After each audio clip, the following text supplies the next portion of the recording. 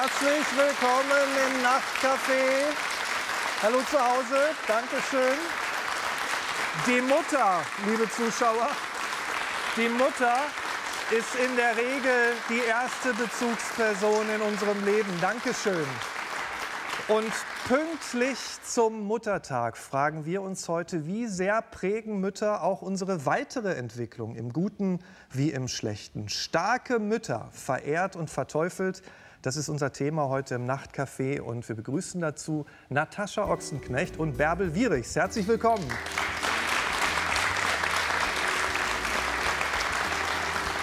Als Mutter-Tochter-Gespann sind sie unzertrennlich. Ihre Beziehung hält durch Höhen und Tiefen. Und auch wenn Sie nicht immer einer Meinung mit Ihrer Mutter sind, Frau Ochsenknecht, so sagen Sie doch, sie hat mich stark gemacht und ist immer für mich da. Wir freuen uns, dass Sie heute beide hier sind, Natascha Ochsenknecht und Bärbel Wierichs. Nochmal herzlich willkommen.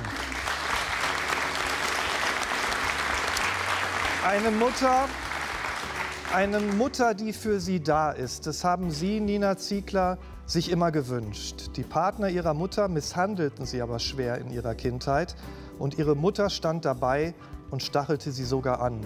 Wie sie nach vielen Jahren einen Weg aus dieser Hölle gefunden haben und wie die Vergangenheit sie heute immer noch einholt, das erfahren wir von Nina Ziegler. Herzlich willkommen im Nachtcafé. Sie Sie, Helmut Gruber, waren der Meinung, eine ganz normale Familie zu haben. Doch mit 14 Jahren erfuhren Sie, Ihre Mutter arbeitete nicht als Taxifahrerin, sondern als Prostituierte. Und Sie selbst waren ein Kuckuckskind. Ihr leiblicher Vater einer der Freier. Das Leben mit diesem dunklen Geheimnis belastete die Beziehung zu Ihrer Mutter stark. Herzlich willkommen im Nachtcafé, Helmut Gruber. Für Sie, für Sie, Angelika Nachtmann, stand Ihre Tochter immer an erster Stelle. Als Katharina schon als Kleinkind unter mysteriösen Beschwerden litt, kämpften Sie jahrelang für eine Diagnose, ließen sich nicht entmutigen, obwohl Ärzte und ihre Familie sie für verrückt erklärten und sie retteten ihrer Tochter damit das Leben. Wir freuen uns auf Ihre Geschichte, Angelika Nachtmann. Mutterliebe.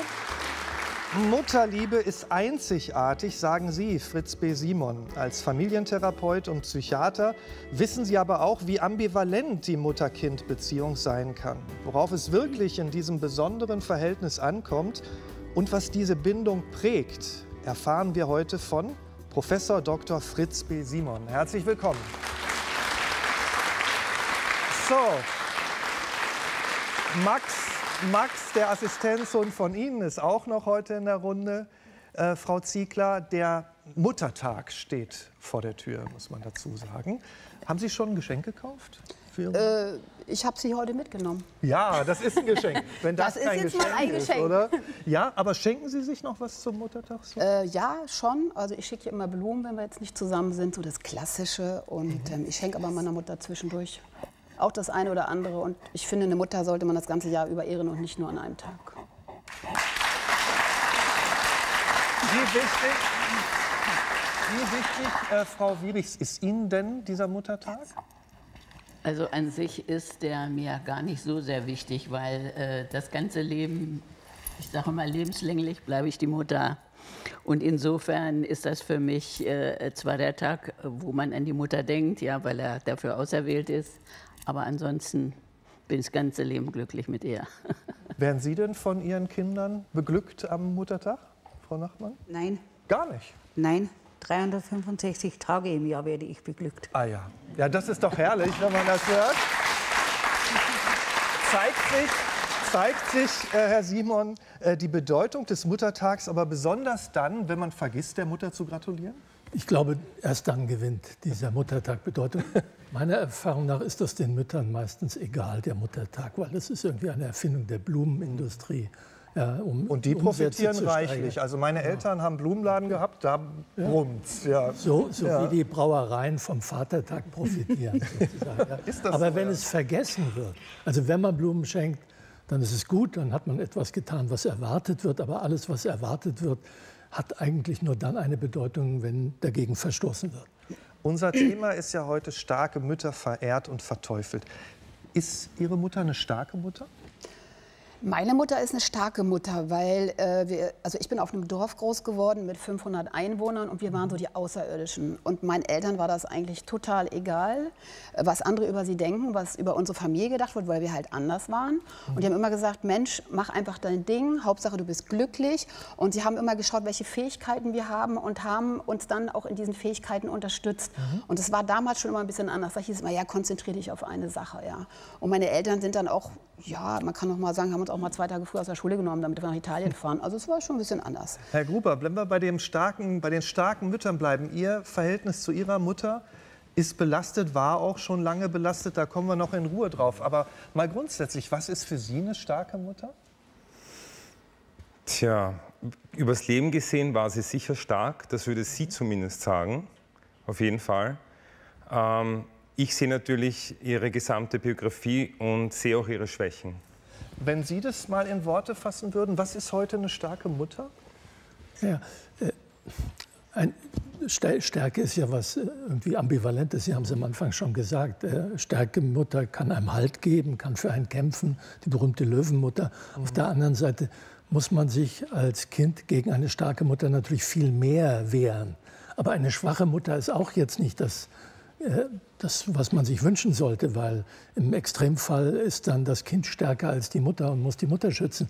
Also insofern ist das mit der Stärke oder Schwäche etwas, was man nicht absolut positiv oder negativ bewerten muss, weil was immer eine Mutter macht, das ist immer irgendwie falsch. Darüber so? muss man sich klar sein. Ja, äh, aber das macht sozusagen das Muttersein aus, dass man sich durch diese verschiedenen Beziehungskrisen durchhangeln muss und äh, die Qualität der Mutter-Kind-Beziehung besteht darin, dass man dort Konflikte austragen und ausleben kann in der Sicherheit einer Beziehung. Wenn die Beziehung gut ist, also ob die Mutter stark ist oder schwach ist, glaube ich nicht so das Entscheidende. Die Frage ist, ist die Beziehung zuverlässig? Dann reden wir doch über die Beziehung. Und wir haben ja hier Mutter und Tochter da. Und Sie haben schon gesagt, als Sie, man wird ja in der Kindheit geprägt. Als Sie ein Kind waren, sind Sie in 500 Seelendorf gezogen, nach Niedersachsen. Äh, ja, Sie waren so ein bisschen schrill. Ich meine, Sie waren wahrscheinlich damals auch schon modisch. Mhm. Äh, haben Sie denn so als neu Zugezogene da in dieses Dorf reingepasst? Absolut nicht. Also wir waren wirklich die Exoten.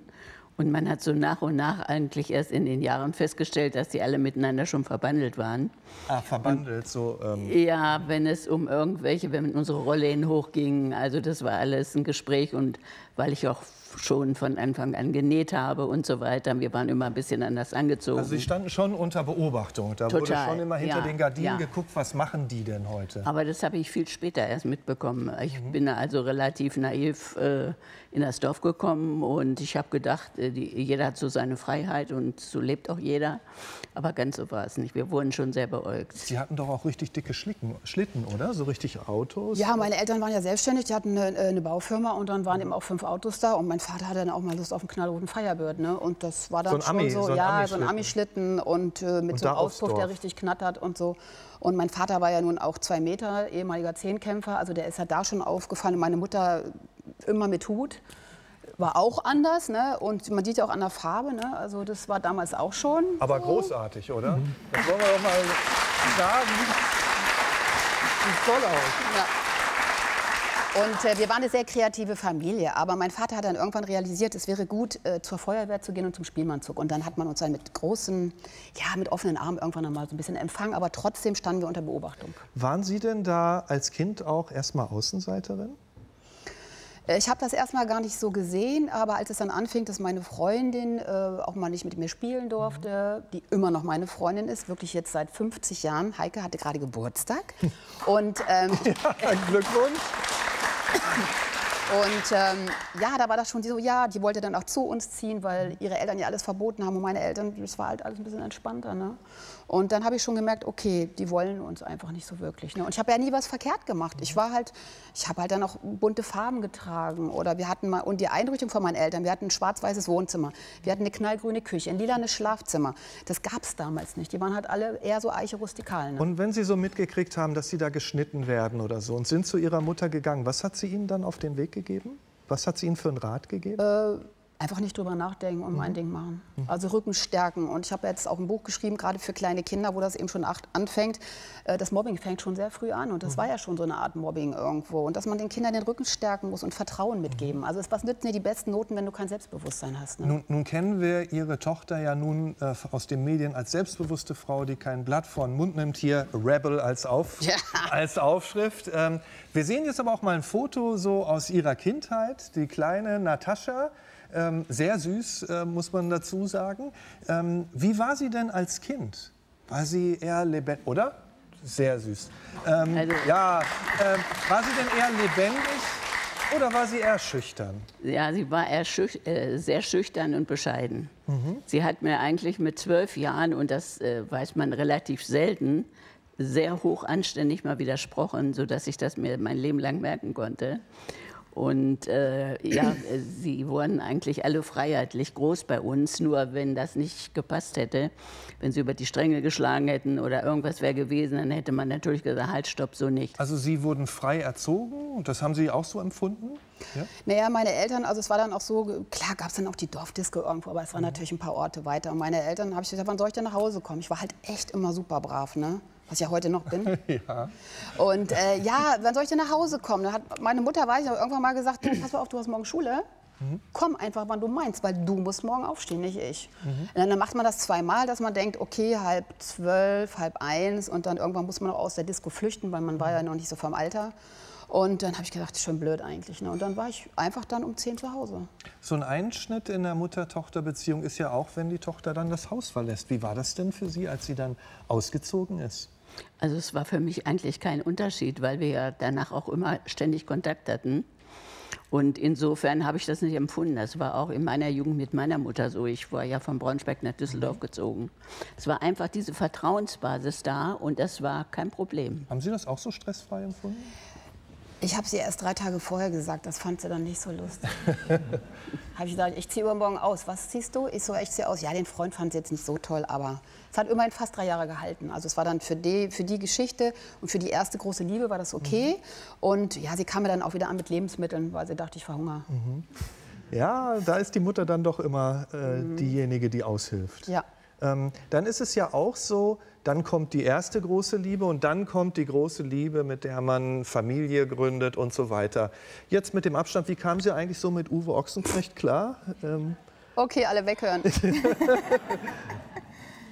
Ja, also er hat eine sehr große Eigendynamik. Okay. Und äh, wenn er dann in der Küche war machte sich da irgendwas mit der Pfanne zurück, hat gerade die Küche schon sauber gemacht. Ja, also ich muss ehrlich sagen, ich war innerlich total verändert. Ich kann das nicht erklären.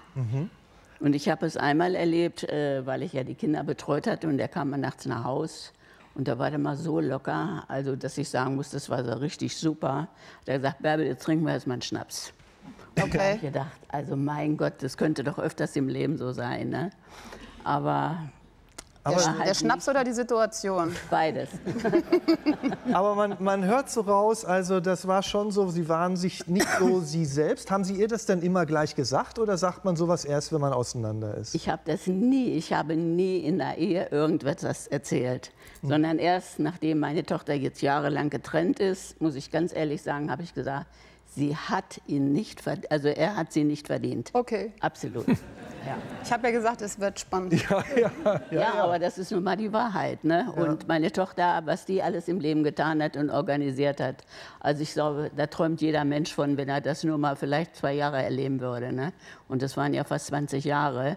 Mann, Plus 20. der Kinder und so weiter. Also ich muss sagen, habe ich meine größte Hochachtung vor. Und äh, ich habe aber nie ein böses Wort eigentlich gegen meinen Schwiegersohn gesagt, weil ich habe das alles neutral gehalten.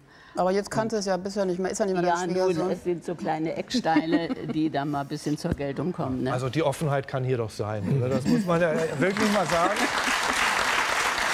Wie wichtig, ich meine, ob das jetzt die Ehe mit Herrn Ochsenknecht war oder ob es jetzt die letzte Beziehung war, die ja vor einem halben Jahr auseinander ist mit Herrn Kekili, ist es Ihnen wichtig, was Ihre Mutter von ihren Freunden hält oder Männern?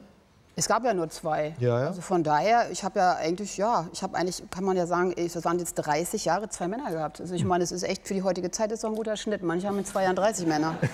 So, Da und, ist was äh, dran. Und nee, ich lege schon großen Wert auf Ihre Meinung, aber sie braucht sie mir gar nicht sagen, weil ich kenne die Blicke meiner Mutter. Und ich weiß, wann die töten und ich weiß, wann die lieben. Und von der weiß ich dann so, okay, der ist willkommen und der halt weniger. Ne? Ist sie denn diejenige, die Sie dann, also angenommene Beziehung, Sie hatten ja noch nicht so viele, aber nehmen wir mal die letzte von Herrn Keckeli, die geht mit Herrn Keckeli, die geht auseinander. Ist sie dann so eine der ersten, die Sie anrufen? Oder? Na, die weiß schon vorher, wenn es brennt. Da rufe ich sie schon an. Ah. Also es ist ja nicht so, man trennt sich ja nicht von heute auf morgen. Und sie war auch ein paar, bei einigen Geschichten so dabei, wo, wo, sie dann, wo ich dann schon die, die Augen rollen gesehen habe. Und da wusste ich so, okay. Und äh, da hat sie es eh schon geahnt, dass es auseinandergeht. Äh, es gibt ja Frauen, die sagen, meine Mutter ist meine beste Freundin. Möchten Sie das? Nein. Ich möchte auch nicht, dass meine Kinder zu mir sagen, meine Mutter ist meine beste Freundin, weil ich finde, das ist meine Mutter. Und sowas hat man ja manchmal nur einmal im Leben und das sollte man dann halt auch so ehren und so schätzen. Und Freundin kann ich mir ja suchen, aber meine Mutter kann ich mir nicht suchen, die ist halt da. Wie selbstverständlich ist es, dass eine Mutter zu einer besten Freundin werden kann? Ja, ich glaube, das ist eine Illusion. Ich glaube auch, dass da was nicht stimmt. Weil da ist, so, ist ein, genau. wenn, wenn gesagt wird, meine Mutter ist meine beste Freundin, was nicht heißt, dass so eine Beziehung nicht Ähnlichkeiten haben kann. Aber man hat ja eine ganz andere Geschichte und es gab Abhängigkeiten und es gab natürlich auch Konflikte im Laufe der Entwicklung. In Ihrem Fall, denke ich, finde ich ja beeindruckend, welchen Vertrauensvorschuss Ihre Mutter Ihnen gegeben hat. Sie hat ja offenbar nie versucht, Sie zu kontrollieren oder zu überwachen. Und Naja, das Überwachen. Okay, dann hat ist sie nur die Hälfte Detektiv, erzählt. ne? So Dann hat sie nur die Hälfte erzählt. Aber, aber Sie haben relativ viel Freiraum gehabt und äh, womöglich auch gerade durch dieses Dorf als Umgebung haben Sie gemerkt, wie viel Freiraum Sie haben und dass es erlaubt ist, Abweichen, Abweichung zu zeigen. Weil in vielen Familien ist doch so, dass gesagt wird, macht das nicht, was sagen die Nachbarn, um das jetzt mal zu karikieren. Das haben Sie nicht gehabt. Insofern haben Sie die Chance gehabt, ausprobieren zu können, versuchen zu können, experimentieren zu können. Und deswegen äh, haben Sie wahrscheinlich auch nur Uwe Ochsenknecht ausgehalten. Richtig, richtig. Wie sehr muss sich denn, wenn Mütter nicht die besten Freundinnen sein sollten, aber wie sehr muss sich denn das Mutter-Kind-Verhältnis auch im Laufe der Zeit verändern? Also ich würde gerne noch was sagen, weil da gehört ja auch noch ein Vater dazu, vermute ich. Klar. Ja, die, Den lassen wir heute unter den Tisch Die hätten das fallen. alleine ja wahrscheinlich auch nicht so hingekriegt. Ja, also irgendwie müssen die Eltern sich darauf einig sein, Ja. diesen Freiraum zu geben und so weiter. Ja, aber natürlich verändert sich die Mutter oder überhaupt die Mutter-Kind-Beziehung, nicht nur Mutter-Tochter-Beziehung, weil ja, es fängt an mit totaler Abhängigkeit und irgendwann äh, wird gewissermaßen so in Salamitaktik ausgehandelt, wie autonom der andere ist. Wobei Mütter natürlich immer in dem Dilemma sind, gerade wenn sie ihre Kinder lieben, dass sie übergriffig werden, weil sie ihre Kinder vor sich selber schützen wollen, weil die ja häufig noch nicht wissen, was ihnen gut tut oder nicht gut tut. Also da gibt es viele Konflikte. Pubertät kennt jeder, brauche ich nicht zu erzählen. Und irgendwann wird es dann so eine Erwachsenenebene, auch wenn es keine beste Freundin-Beziehung ist. Und irgendwann kippt es womöglich. Ja, ist es Dass schon dann, gekippt? dass dann irgendwann die, also meine Tochter hat mir irgendwann gesagt, Papa, wenn du wirklich verblödest, geh nicht mehr ins Fernsehen. Ja, also war ein guter Wir sind froh, dass Sie da sind. Gruß an die, Gruß an die Tochter.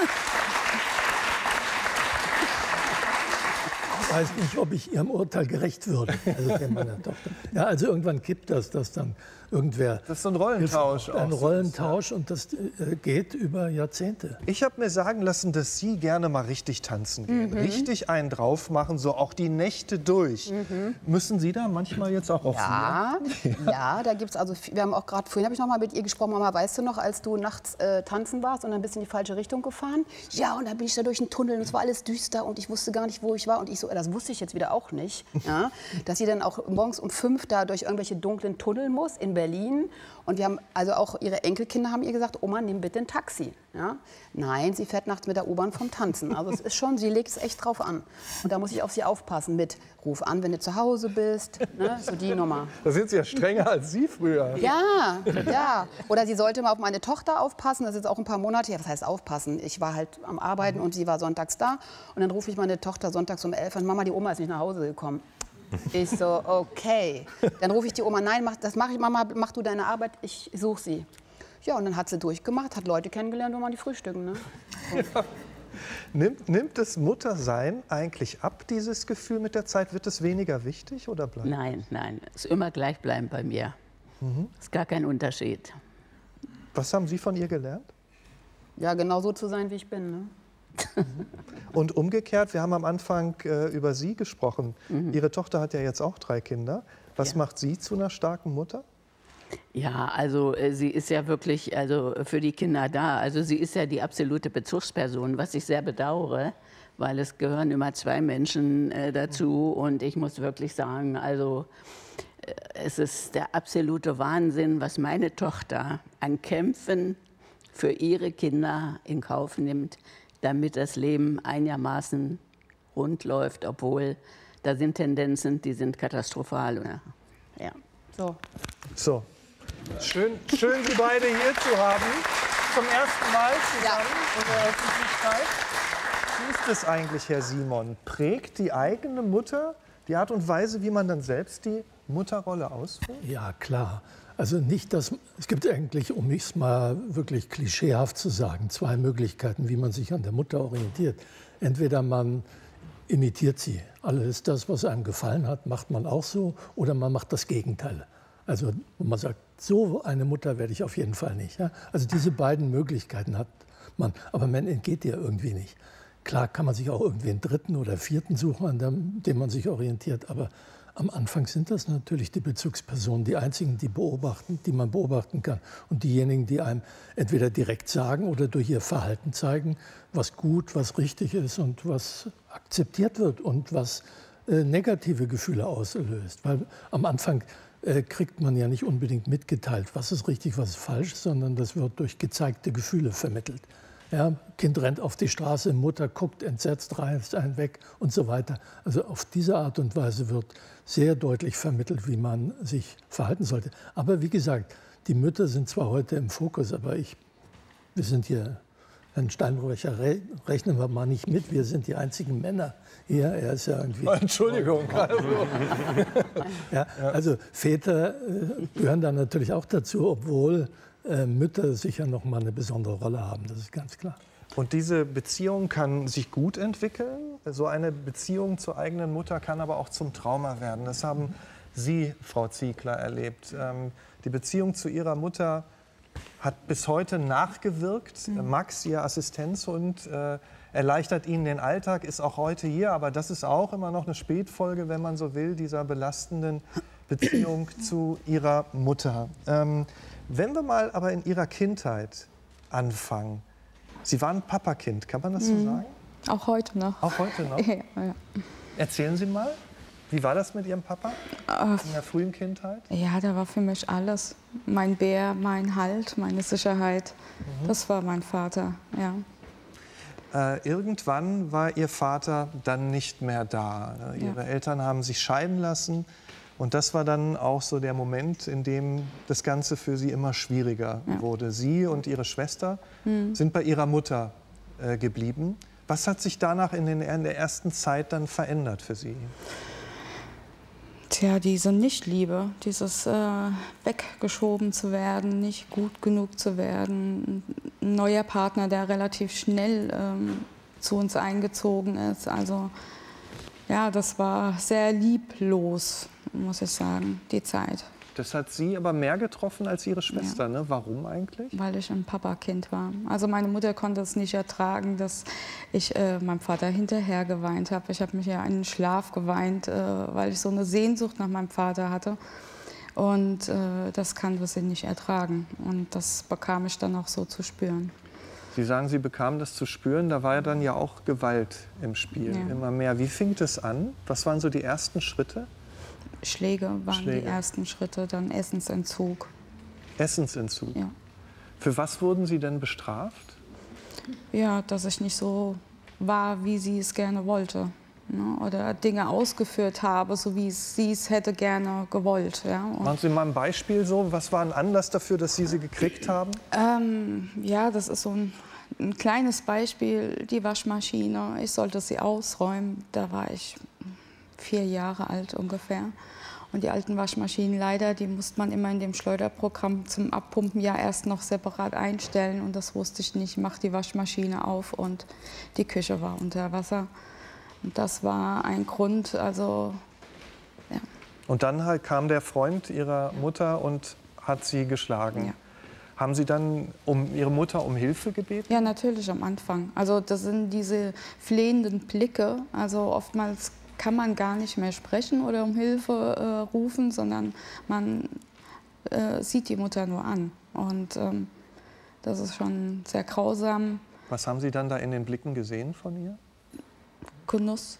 Genuss. Ja, also keinerlei Form von, es tut mir gerade weh, was mit meinem Kind passiert. Also da war keinerlei Empathie, nichts. Also, und das sind so Blicke, die haben sich ganz tief in mir eingebrannt. Ja. Haben Sie sich dann als Kind versucht zu erklären, warum ist die Mama denn so? Warum guckt die denn so?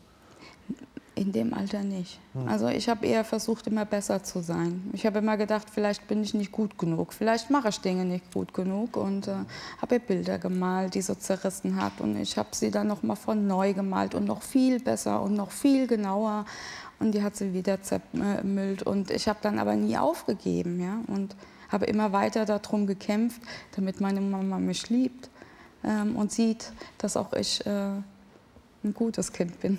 Also Sie haben um die Liebe gekämpft. Ja. Haben Sie sie denn auch geliebt? Ja, natürlich. Ein, also ich muss sagen, in dem Alter liebt man seine Mama.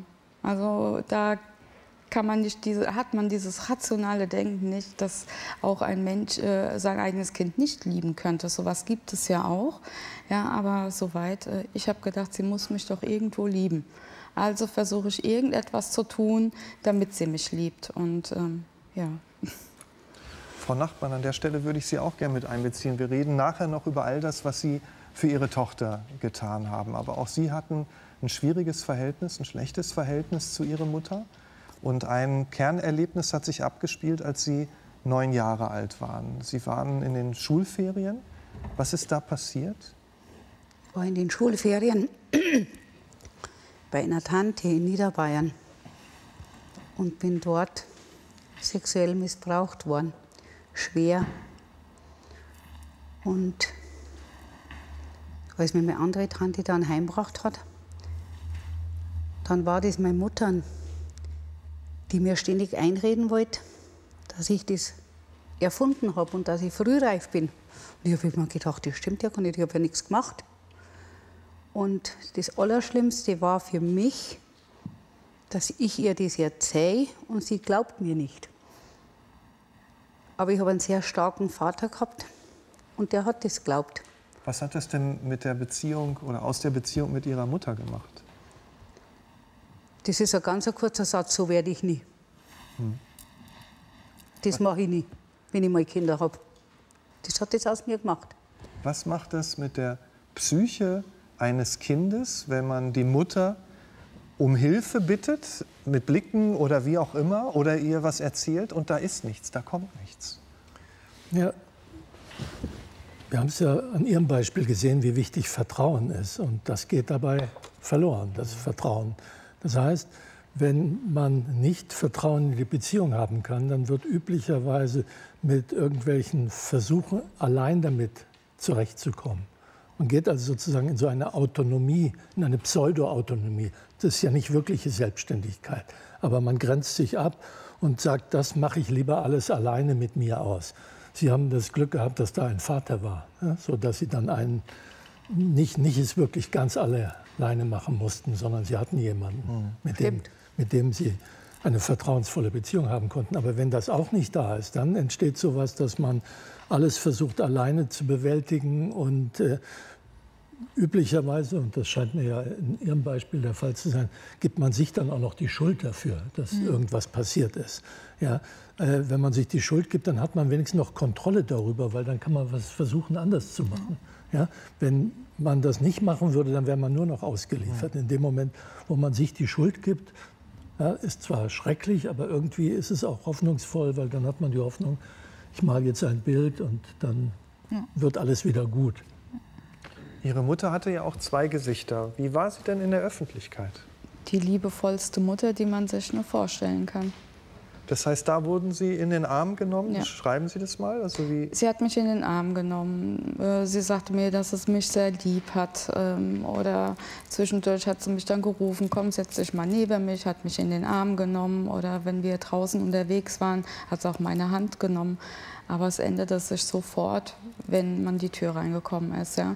Natürlich habe ich diese Momente, die habe ich die habe ich inhaliert. Also das muss ich so, kann ich nicht anders da erklären. Ich habe diese Momente so inhaliert und sie so versucht zu genießen, so lange wie es geht, weil ich wusste, das ist in ein paar Stunden nicht mehr so. mit jedem neuen Partner wurde es ja auch heftiger für Sie. Sie wurden am Anfang nur in Anführungsstrichen geschlagen, dann wurden Sie geschlagen mit dem Gürtel, mit Kleiderbügeln, mit allem Möglichen, wurden auch sexuell missbraucht. Ähm, wie haben Sie das ausgehalten? Hatten Sie jemanden, dem Sie sich anvertrauen konnten? Nein. Gar niemanden. Das ist, ähm, man hat auch sehr gut psychisch mit mir gearbeitet. Ja? Also das sind solche Sätze, äh, wenn du was sagst, das wird viel schlimmer, die wird eh keiner glauben. Und das war wirklich so in mir eingebrannt, mir glaubt ja eh keiner. Ja, egal was die mit mir machen. Und, ähm, und so habe ich das geduldet. Also ich, ich sag mal so, umso älter man wird, umso mehr fängt man an, ein devotes Verhalten zu leben. Alles so, um es ihr recht zu machen. Obwohl man selber weiß, man geht ein wie, eine, wie ein Blümchen. Ja, aber Sie waren ja damals im Kindergarten. Sie waren auch mal bei Ihrem Vater zu Besuch. Hat da keiner was mitbekommen? Doch. Doch? Also im Kindergarten ähm, ja, gab es eine Situation, es sind aus zwei Gruppen eine Gruppe gemacht worden, weil halt Kinder krank waren. Und es war halt am Vorabend so, dass ich wirklich ähm, aufs Regelrechte vermöbelt worden bin und sozusagen auch nicht mehr sitzen konnte. Und äh, ja, die kleinen äh, Holzstühlchen, die sind schon sehr hart. Also habe ich halt versucht, immer einen Positionswechsel zu machen. Und die Leiterin meinte, ich müsste auf Toilette, weil sowas machen Kinder ja auch gern mal, wenn sie auf Toilette müssen. Und äh, nahm mich mit, obwohl ich nicht wollte. Und hat mich ausgezogen und hat dann natürlich alles das Blutige entdeckt. Und dann? Es wurde dem Jugendamt auch dann gelei also weitergeleitet. Es gab eine Meldung. Und ähm, ja, meine Mama hat geweint. Das war ein Aus Versehen. Und ähm, das Jugendamt hat damals nichts getan. Und äh, erst als mein Vater das gesehen hatte, es war ja auch ein ganz dummer Zufall, weil seine Partnerin mich damals waschen wollte am Rücken. Und ich wusste, nein, das darf keiner sehen, weil wenn ich nach Hause komme, ne, man lebt in dieser permanenten Angst, dann wieder geschlagen zu werden. Ja? Und, aber sie hat da halt nicht locker gelassen und hat das dann gesehen und ist erst mal wortlos aus dem Bad raus. Und ich bin erst mal zusammengebrochen, weil ich gedacht habe, jetzt ist mein Leben vorbei. Ja, und mein Vater kam dann rein und hat das gesehen und hat dann auch die Meldung gemacht und auch gleichzeitig das Sorgerecht und Aufenthaltsbestimmungsrecht beantragt. Aber auch das hat ein Jahr lang gedauert, äh, bis ich dort rauskam. Wir sind ja immer wieder schockiert, auch über Fälle wie zum Beispiel in Staufen bei Freiburg, ähm, als ein neunjähriger Junge ähm, von seiner Mutter und ihrem Lebensgefährten ähm, zum Missbrauch äh, angeboten wurde. Ist die Mutter als Täterin oder auch Mittäterin immer noch ein Tabu? Ich glaube schon, äh, weil äh, das Mutterbild ist ja nicht wirklich realistisch, sondern das ist ja von vielerlei Idealisierung geprägt. Ja, das, äh, die Mutter wird glorifiziert ja, äh, und deswegen ist es schwierig, das in Frage zu stellen. Äh, ich finde, es ist ja auch funktionell, dieses Mutterbild zu idealisieren und zu glorifizieren, weil das hat ja auch eine gewisse Wirkung auf denjenigen, der in diese Rolle kommt, dann der kann er sich orientieren. Aber wenn das dann die Abweichung da ist, das ist dann so erschütternd häufig, das kann man eigentlich nicht glauben, weil es so weit abweicht von dem, was wir normalerweise äh, von Müttern erwarten. Und deswegen wird es dann auch im Einzelfall, und, dann, ja, und die Frage ist ja auch, wie ist das erklärbar? Also in Freiburg oder Staufen oder auch in Ihrem Fall würde ich sagen, das ist natürlich nicht mehr das, was man üblicherweise ohne irgendwelche Verwendung pathologischer Kategorien äh, erklären kann. Also irgendwas ist mit dieser Mutter nicht okay, um es mal allgemein zu sagen, dass sie sowas zulässt, wenn ihre Partner sie so foltern, hätte ich beinahe gesagt. Ja, man kann es nicht anders da auch nennen. Das kann man schon so. Ja. Sie waren dann irgendwann dort raus, aber äh, den Schmerz, den die Partner ihrer Mutter und auch ihre Mutter ihnen zugefügt haben, den haben sie sich dann selbst zugefügt. Es kam Alkohol, es kam ja, äh, Rangeleien, äh, Aggressionen rein. Sie haben die Schule geschwänzt. Ähm, sie sind ins Heim gekommen. Ähm, sie haben sich dort dann geritzt, sind dann in eine psychiatrische Klinik äh, gekommen. War das dann der Ort, wo Sie angefangen haben, das dann auch zu bearbeiten, was Ihnen über all die Jahre passiert ist? Also die erste Therapie noch nicht. Also bei mir ging es so, dass es, ich bin auch gesund ins Bett. Also ich nenne es jetzt mal relativ gesund und bin wirklich todkrank wach geworden. Mein Kopf war schwer, ich wusste überhaupt nicht, was los war. Und erst in den Laufen der Jahre der Therapie ähm, habe ich ähm, dann verstanden, ne, und was halt passiert ist. Vor allen Dingen, es kamen ja viele Dinge erst zurück. Ich habe sehr viel vergessen. Also man spricht da auch von einer Amnesie, die man als Selbstschutz äh, einfach auch hat. Und ja.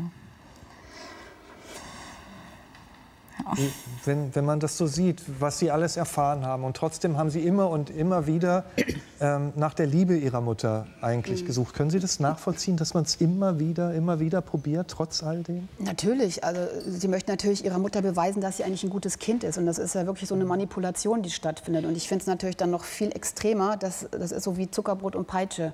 So, wir gehen zu den Leuten raus auf die Straße und das ist die liebste Mutter der Welt. Und das Kind weiß aber schon genau, wie sie sagt, sie saugt alles auf wie ein Schwamm. Und zu Hause gibt es dann halt die Peitsche. Ne? Und äh, das können, also ich finde es auch immer so, man denkt doch mal so, die Väter sind die Bösen. Es gibt so viele böse Mütter. Und es ist auch wie hier, wo man sagt, das ist die Mutter, die ist heilig. Das kann doch nicht sein. Auch Mütter missbrauchen ja auch ihre Kinder, also so ist man nicht. Oder sie werden so manipuliert vom Partner, dass sie ihm zugucken. Und ähm, ich finde das echt erschreckend. Ne? Und wie lange das dann auch wieder gedauert hat. Der Vater kämpft und will das Kind haben, will es retten. Und dann dauert es ein Jahr. Und sie ist ein Jahr noch in dieser Hölle. Also ich finde, das ist, das ist einfach unfassbar. Ja? Also da könnte ich ja ausflippen. Also ich wäre da hin und hätte das Kind rausgezogen. Ne? Und ich finde es auch ganz toll, dass sie jetzt hier sitzt und den Mut hat und auch sagt, hier so ist es passiert, weil das muss man erst mal schaffen. Ja? Also das zeigt, die Therapie hat ja auch wirklich Wirkung gezeigt. Und, ähm,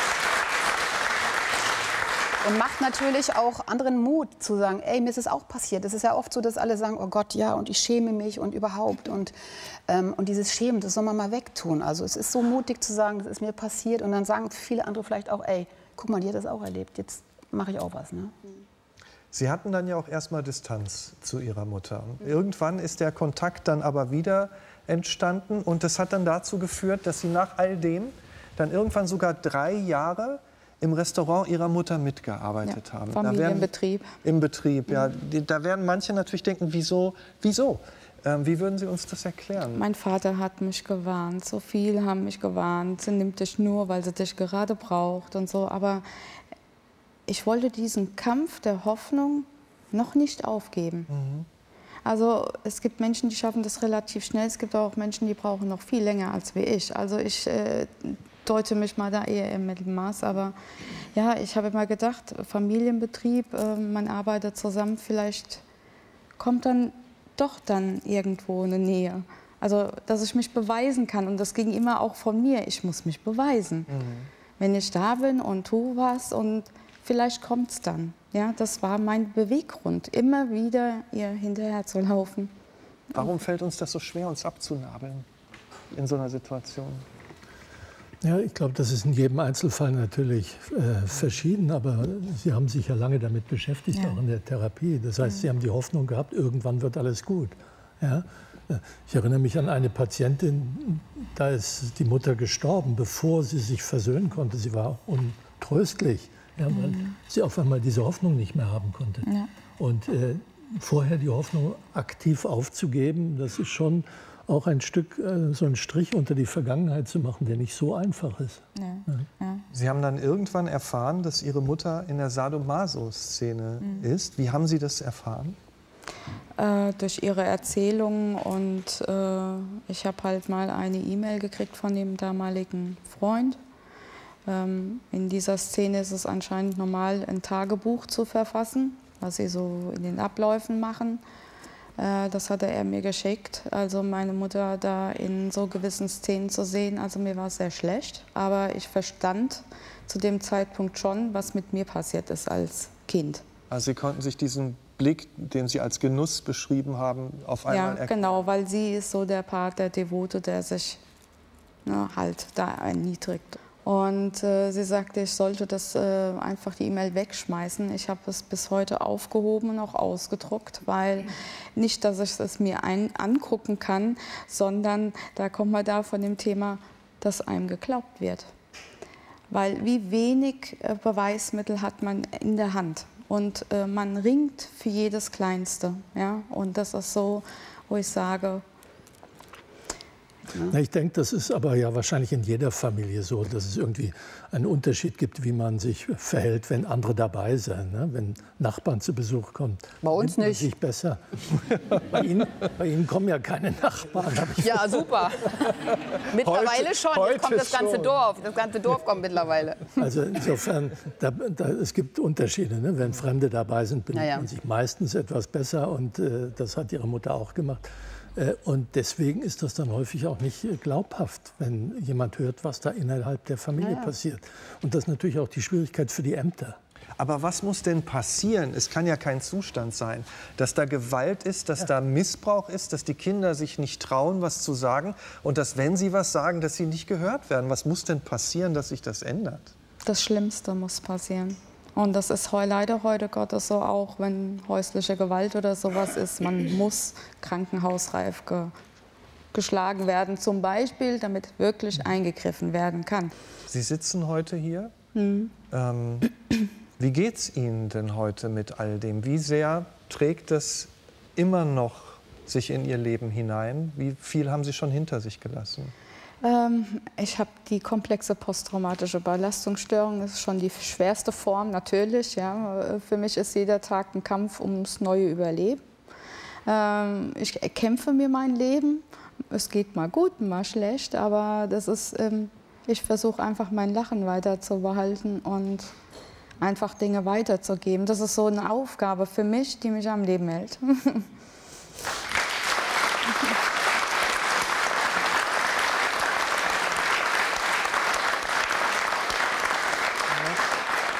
kleine Ergänzung. Wir sehen Max da bei Ihnen zu Füßen liegend. Ähm, wie hat er Ihren Alltag verändert? Wie hilft er Ihnen bei all dem? Er ist ja für diese Erkrankung ausgebildet und er kam 2015 zu mir. Und ich hatte davor wirklich noch Phasen, ich konnte nicht mehr einkaufen gehen, ich konnte nicht mehr unter Menschen, nichts mehr. Und ähm, er hat es wirklich geschafft, soweit, dass ich mit seiner Kenndecke wirklich in den Einkaufsladen gehe, mich bewege, einkaufen gehe, äh, auch mal zum Fest gehe oder wie jetzt auch hierher. Ja, und das ist so viel Lebensqualität, die ich durch ihn dazu gewonnen habe, was ich nicht mehr missen will. Wir lassen ihn. Da in Ruhe, aber ich sind angekommen. Sie sind heute selbst Mutter. Setzt Ja. man sich da ganz natürlich so das Ziel, ja, ich möchte es jetzt auf jeden Fall alles besser machen? Ich habe es mit zum Ziel ganz schnell gemacht. Dieses, ich werde niemals so wie meine Mutter. Ich werde besser. Was ist für Sie eine starke Mutter, wenn Sie es sagen? Ähm, einfach für meine Kinder dann da zu sein, wenn sie mich auch brauchen. Ja, also, äh, oder sie aufmerksam zu machen, wenn halt mal was nicht gerade so in Ordnung geht. Einfach die Fürsorge. Äh, sie wissen, äh, bei mir sind sie sicher. Und ich glaube, das ist einfach, äh, was Kinder wirklich brauchen. Zu wissen, sie sind zu Hause sicher. Also nach dem, was Sie uns alles hier erzählt haben, ist es, glaube ich, klar, dass es kein einfacher Weg war und ist, hin zu einem normaleren, auch unbeschwerteren Leben zu kommen. Wir können Ihnen nur für die weiteren Schritte alles, alles Gute wünschen und nochmal Danke sagen. Sie haben gesagt, Sie wollen sich dieses Leuchten, das Lachen behalten. Das finden wir wunderbar und danke für den Mut, Ihre Geschichte hier zu erzählen.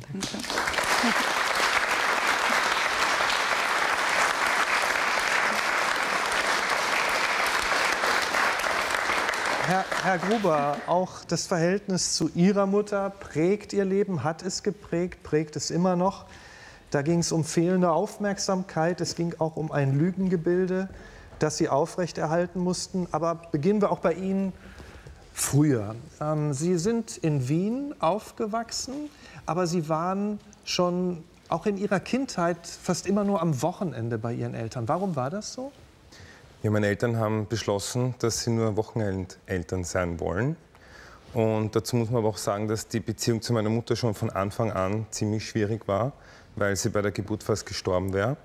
Sie, die Nachgeburt war ähm, mit der Gebärmutter verwachsen und das ist dann nicht richtig abgegangen und sie hatte eine blutende Wunde im Bauch und ist fast verblutet. Und ich hatte Fruchtwasser in der Lunge und wir wurden sofort getrennt nach der Geburt. Ich war im Brutkasten und sie musste sich von dieser schweren Geburt erholen, wo sie fast gestorben wäre. Und das ich weiß nicht, wie sehr das eine Beziehung prägt, aber ich führe das auch darauf zurück, dass dieses Bonding dann schon einmal schlecht war.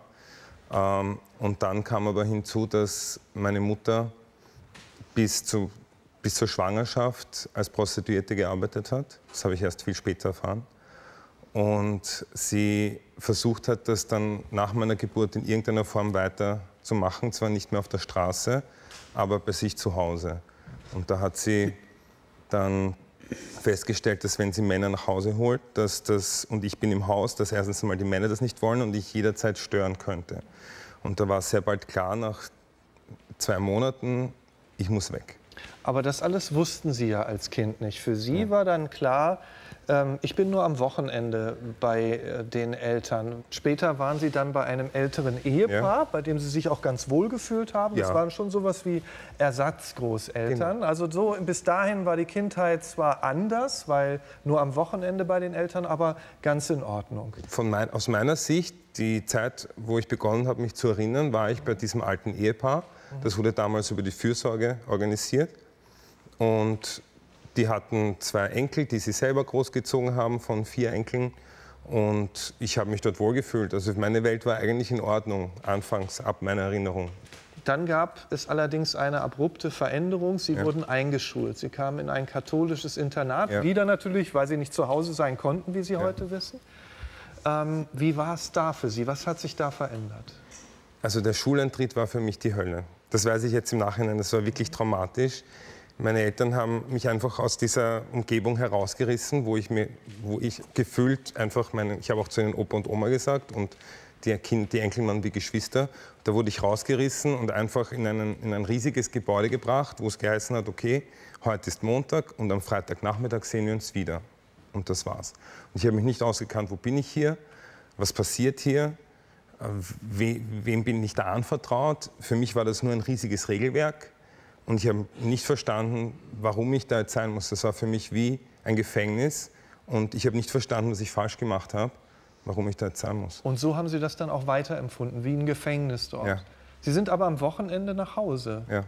Am wie Wochenende, also am Freitagnachmittag habe ich nur auf die Uhr geschaut, wann kommen mich endlich meine Eltern abholen, mhm. weil das Wochenende haben sie mir eigentlich nicht gestaltet.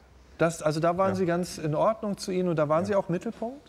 Da war ich wirklich mit, Mittelpunkt. Ja. Also diese Zeit haben sie sich wirklich genommen und da haben sie auch versucht, freier rauszuhalten. Es haben zwar auch welche angerufen, aber meine Mutter hat immer gesagt, wie schwierig das für sie war, das irgendwie wenigstens am Wochenende freier freizuhalten. Ja. Hatten Sie denn das Gefühl damals, was haben Sie denn gesagt, Ihre Eltern, wenn Sie gesagt haben, ich will da nicht wieder hin? Das ist ja schrecklich da, ich, ich fühle mich wie im Gefängnis. Meine Eltern haben mir das Gefühl gegeben, es gibt keine Alternative.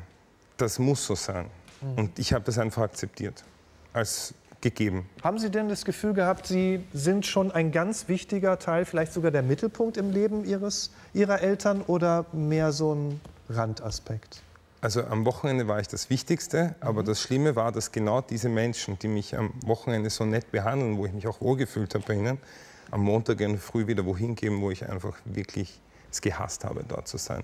Es war eine katholische Privatschule und es war wirklich ein kalter, am MIF dort, also wirklich gefühllos und kalt und nur Regeln und nur funktionieren. Mit 14 haben Sie dann irgendwann gesagt, das ist Schluss, da gehe ich nicht mehr hin und sind nach Hause. Ähm, das war dann allerdings mit einem Schlüsselerlebnis äh, verbunden. Mhm. Ähm, Sie also, haben mit einem Freund der Familie geredet und es, es, war so, dass ich dann in die Pubertät gekommen bin und realisiert habe, es gibt sicher Alternativen. Also es kann, das kann nicht sein, dass meine Eltern sagen, das muss so sein und ja. es gibt keine andere Möglichkeit. Und wie ich sie damit konfrontiert habe, ich kann dort nicht mehr sein, haben sie gesagt, ja, dann, oder hat eigentlich meine Mutter eingefädelt, dass ich zu einem Freier komme, mit dem sie eine väterliche, auch ein väterliches Verhältnis hatte. Und er hat ihn gebeten, bitte sag ihm das doch, dann können wir ihn aus der Schule nehmen und dann kriegt er das zwar mit, aber ich schaff's nicht. Meine Mutter hat, war der Schlüssel und Schlüsselfigur. Äh, sie hat gesagt, sie hat das auch eingefädelt und hat gesagt, bitte mach das und sag das. Was hat er Ihnen dann genau gesagt? Er hat gesagt, okay, du bist jetzt hier, ich muss dir eine traurige Wahrheit sagen oder halt eine Wahrheit, ja, aber dann sage ich dir auch gleich die ganze Wahrheit, dein Vater ist auch nicht dein Vater. Zusätzlich zu dem. Und das war für mich wirklich so wie aus heiterem Himmel, oh Gott, was ist da jetzt los? Aber gleichzeitig habe ich gewusst, mit dieser Erkenntnis und mit der Akzeptanz dieser ganzen Situation bin ich jetzt frei. Ich komme raus aus dieser Schule. Und damit habe ich mir quasi ein Stückchen Freiheit in meinem Leben erkauft, mit dieser Akzeptanz. Und wie mich meine Mutter abgeholt hat und ich sie gefragt habe, was soll das, was ist das, was soll das?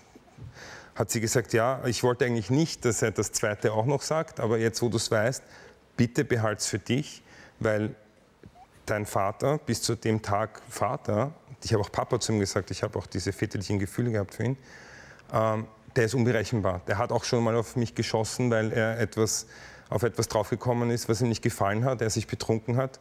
Und dann hat er auf mich geschossen, weil er war Taxifahrer, hatte eine, es gab eine Waffe im Haus, deswegen auch also legal.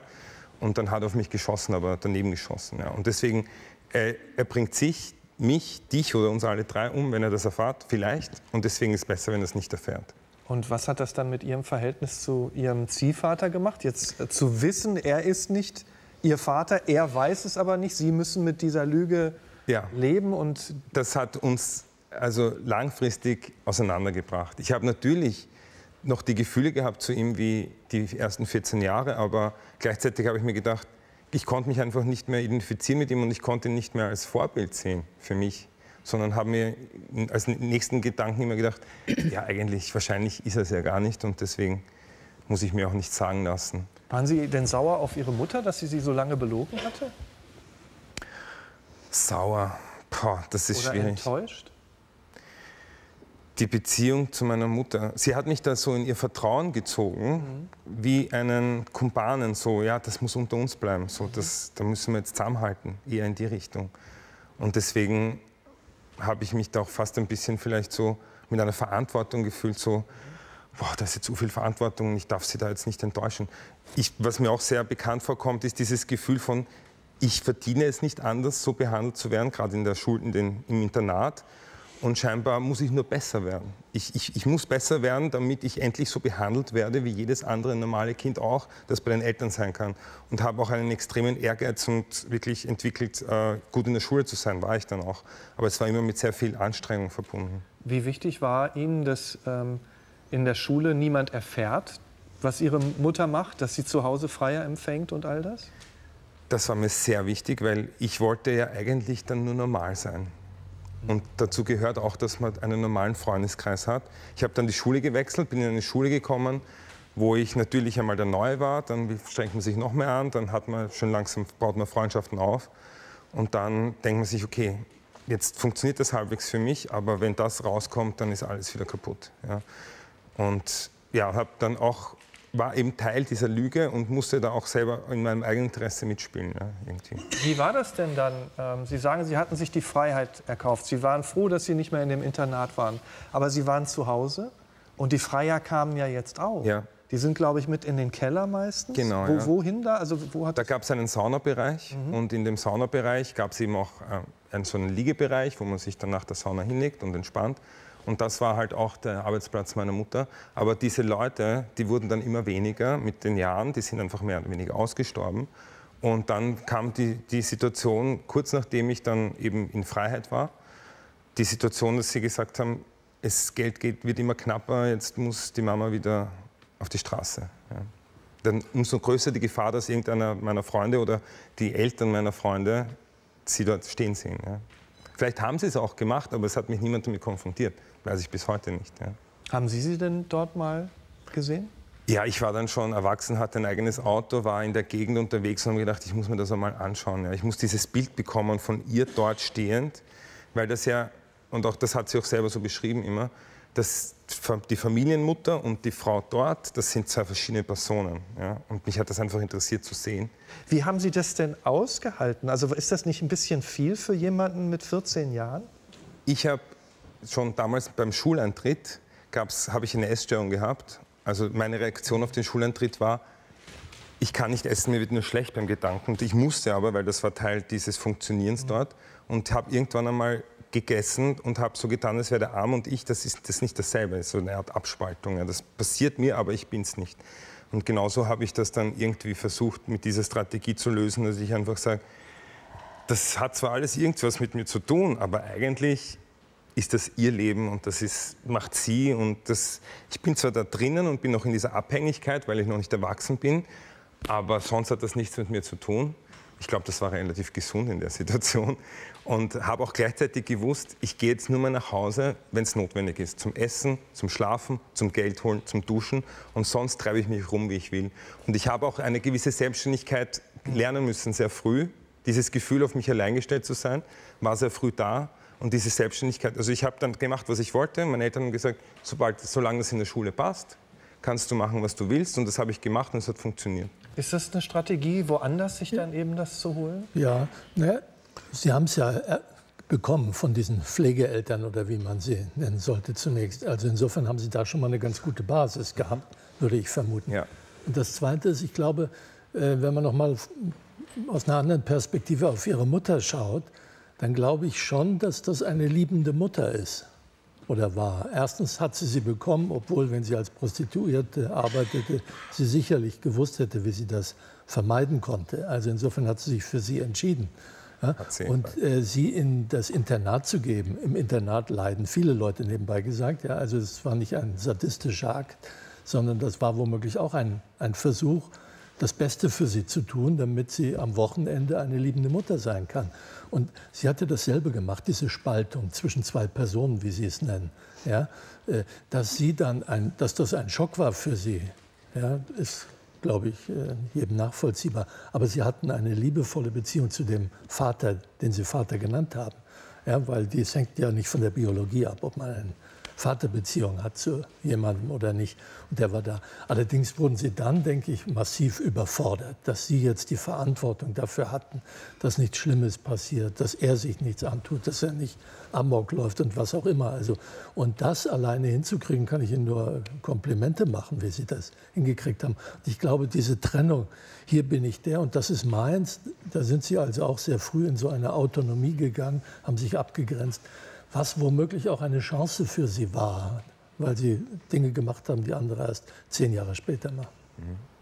Ja. Die Frage ist ja auch, die Frage ist ja auch, wie geht es dann weiter? Sie sind dann irgendwann zu Hause raus, Sie sind in den Beruf gestartet, haben studiert, haben als Sozialpädagoge gearbeitet, haben äh, auch, eine, auch eine Therapie äh, begonnen ähm, haben dann auch ähm, eine langjährige Beziehung gehabt und hatten sogar einen Stiefsohn, wenn mhm. will, in dieser Beziehung. 2009 ist dann ihr Ziehvater, ihr sozialer Vater, äh, gestorben. Was hat das mit ihrer Mutter gemacht? Ja, meine Mutter war es gewohnt, dass sie immer alles managt und sich um, irgend, um alles kümmert. Und er war dann am Ende schwer krank, ein Jahr lang hat sie sich auch noch gekümmert und in dem Moment, wo er weg war und ich ausgezogen war mit meiner eigenen Familie, äh, hatte sie einfach nichts, keine Lebensaufgabe mehr. Und sie hat dann zwar alleine in dem Haus gewohnt, aber es ging eigentlich immer schlechter. Und sie hat immer weniger getan, hat dann immer weniger das Gefühl gehabt, sie muss zum Beispiel Wäsche waschen oder Staubsaugen oder so. Und dann, das ist dann noch schlimmer geworden, dass sie irgendwann einmal dann sogar Angst hatte, einkaufen zu gehen. Und ja, dann hat sie noch einmal angeboten, dass wir damals noch eben mit der Frau mit dem Kind zu dritt bei ihr einziehen, was ich mir überhaupt nicht vorstellen konnte, weil das ist ja dasselbe Haus von damals. Also ich wollte einfach nichts mehr damit zu tun haben. Und dann hat sie extrem abgebaut, aber sie hat sich nicht anvertraut. Also sie hat, wir waren auch regelmäßig mit ihr essen zu Feiertagen und halt zu irgendwelchen Anlässen und da ist sie auch nach Wien mit dem Auto gefahren noch. Sie hat sich nichts anmerken lassen, aber innerlich ging es steil mit ihr bergab. Und dann ähm, hat sie einfach beschlossen, okay, ich mache mich einfach sang- und klanglos vom Acker quasi. Was, was und heißt ich nehme Tabletten und ich bin weg. Das war ihr erster Selbstmordversuch. Ja. Und, Das war 2013, glaube ich. und als Sie davon erfahren haben, was äh, hat das dann in Ihnen ausgelöst? Haben Sie dann das Gespräch mit ihr gesucht? Sind Sie sich dann näher gekommen? Naja, es gab, es gab diese, dieses Gefühl von, natürlich zuerst habe ich was falsch gemacht, dann das Gefühl, wie sehr muss ich mich jetzt kümmern. Ich habe es selber nicht leicht und sie hat mich eigentlich in, ein, in ihr Loch gerissen. Somit, ja. Also sie hat mich äh, damit reingerissen und ich war plötzlich in einer Situation, wo ich wieder überfordert war. Und das, also das war nicht der einzige Grund, aber ich hatte es sowieso schon schwierig in meiner Beziehung mit dem Kind. Und dann bin ich einfach so ein bisschen weggebrochen aus dem Ganzen. Was, und die ganze Stabilität dieser Dreierbeziehung hat dann auch sehr darunter gelitten und letztendlich kam es dann auch da zu einer Trennung. Also ich, ich, es war dann so, dass sie, ähm, es war nicht der einzige Selbstmordversuch. Nach dem zweiten ähm, muss, wurde sie dann entlassen aus der Psychiatrie mit einer 24-Stunden-Betreuung. Da hat sie mich dann auch permanent angerufen und gesagt, das passt alles nicht. Und wie ich dann gesehen habe, wie, wie wenig oder schlecht sie sich kümmert, oder aus meiner Sicht halt, ähm, habe ich dann letztendlich mich dazu durchgerungen, doch wieder die Verantwortung an mich zu reißen und bin jetzt hier Sachwalter und hab, kümmere mich jetzt um das Notwendigste für sie. Frau Ziegler, sehen, sehen Sie da auch gewisse Parallelen, einfach auch in der Schwierigkeit, wirklich seinen eigenen Weg zu gehen, doch immer wieder da in die Nähe zu kommen und in eine gewisse Abhängigkeit oder wie man es auch beschreiben Ja, möchte? das ging bis 2009 so. Ja. Und dann war irgendwann dann der, wirklich der Cut. Den musste ich auch tun.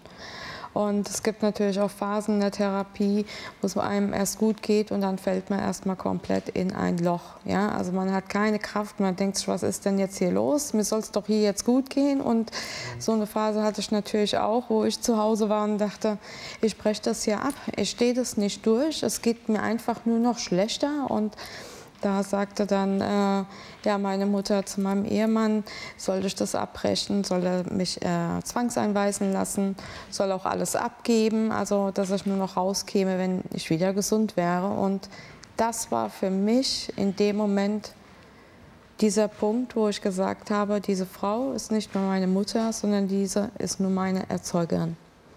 Weil man muss sich den Namen Mama wirklich verdienen.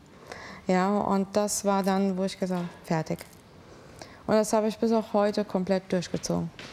Wo stehen Sie heute im Verhältnis zu Ihrer Mutter? Also Sie beschreiben das ja so, Sie sind immer noch in der Verantwortung. Ne? Und Ich versuche ein Leben zu leben abseits von ihren Tiefen, aber es gibt immer wieder Überschneidungspunkte, wo sie anruft oder wo wir uns einfach ausmachen, dass wir uns sehen.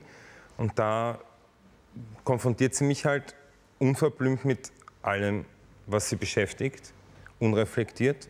Ich habe auch, also das sind Sachen dabei, wie, wie kann ich es denn das nächste Mal richtig machen, damit es auch wirklich funktioniert. wie Und- kann ich das nächste Mal Suizid ja, richtig machen? Genau, ja. Und das sind einfach Dinge, wo ich sage, da, das gehört nicht äh, das, an meine Adresse, solche Sachen. Und das zeigt mir nur, wie unreflektiert sie eigentlich noch immer ist. Und sie sagt auch, sie weiß, dass in meiner Kindheit viel falsch gelaufen ist.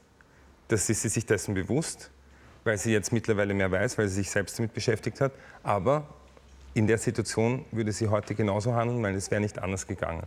Das ist halt etwas, das muss ich so akzeptieren. Also in, in den Augen Ihrer Mutter ist sie selbst eine starke Mutter gewesen. Ja, deswegen hat, das war auch ein, mein Eingangsstatement vorher, also mein Ja. Kommentar dazu. Und, ja. und, und in Ihren Augen, wie würden Sie das sehen? Was ist für Sie eine starke Mutter jetzt nochmal? Man muss das alles im, im Ganzen sehen. Man muss ihre Vergangenheit sehen, man muss die Zeit sehen, die wir gemeinsam hatten und man muss das Jetzt sehen. Und letztendlich hat ihr Verhalten auf mich einen Einfluss gehabt, dass ich gelitten habe. Es gibt Narben, aber ich werde das nie vergessen. Aber ich glaube, in meinem eigenen Interesse muss ich irgendeine Form von Verzeihung finden. Meine Zukunft ist noch nicht geschrieben und da möchte ich jetzt eben selbst das mitgestalten und meine Mutter ist ein Teil davon, aber sie wird nicht meine Zukunft bestimmen.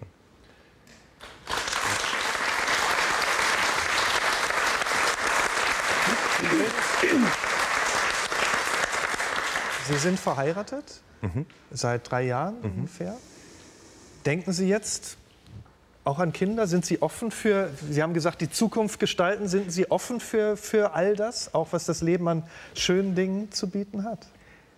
Ja, ähm, ich finde, dass das, was das Leben an schönen Dingen zu bieten hat, kann ich jetzt gerade genießen mhm. mit meiner Frau zu zweit. Das heißt aber nicht, dass wir nicht ähm, irgendwann einmal sagen, wir haben jetzt äh, einen, einen Raum geschaffen oder eine Zweisamkeit geschaffen, die eine dritte Person gut verträgt. Und deswegen ist es auf jeden Fall nicht gegessen, aber es ist momentan ähm, ja, noch nicht so akut. Wobei, ja, das Alter ist natürlich eine Grenze, ja, das ist klar. Also, wenn ich mal was sagen Ja, ja, darf, ich, ich, Jederzeit. Oh, danke. naja, ich finde so bei beiden, ja, also welche Verantwortung man diesen Kindern aufgedrückt hat, ne?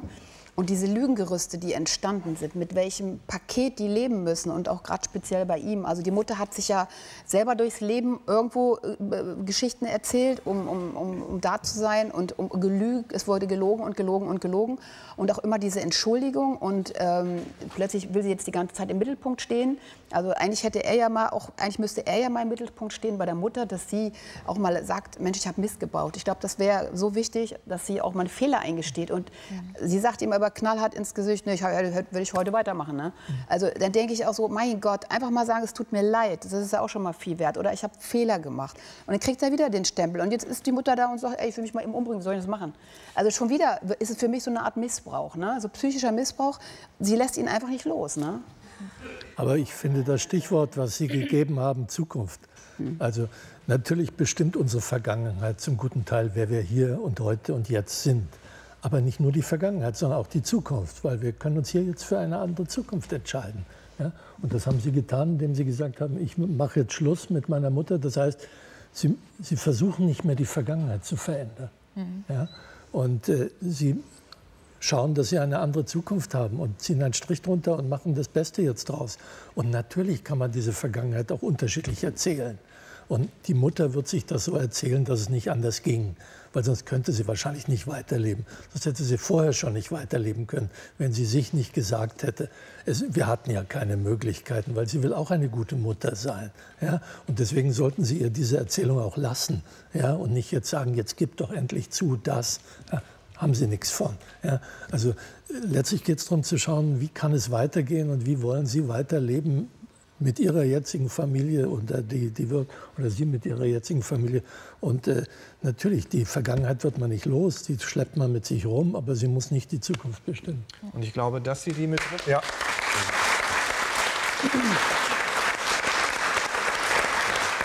Eigentlich ist dem nichts hinzuzufügen. Deshalb äh, kommen wir doch zu Ihnen, Frau Nachbarn. Wir haben von Ihnen ja schon erfahren, dass Ihr Verhältnis zu Ihrer eigenen Mutter nicht leicht war. Ähm, Sie haben dann aber irgendwann selbst Familie gegründet. War das so ein bisschen auch wie bei Ihnen, äh, Frau Ziegler, dass Sie gesagt haben, jetzt will ich es aber besser machen? War das von Anfang an der Anspruch? Ja, Ja? das ist so. Man lernt ja aus den Fehlern von den anderen. Und ich wollte es so nie machen. Sie haben ja auch äh, geheiratet, haben dann auch ein Kind bekommen, einen Sohn. Die Ehe ist auseinandergegangen. Äh, Sie haben aber wieder geheiratet, äh, haben dort noch zwei weitere äh, Kinder bekommen. Sie sind äh, dann auch äh, mit Ihrem Mann und Ihrer Schwiegermutter zusammengezogen.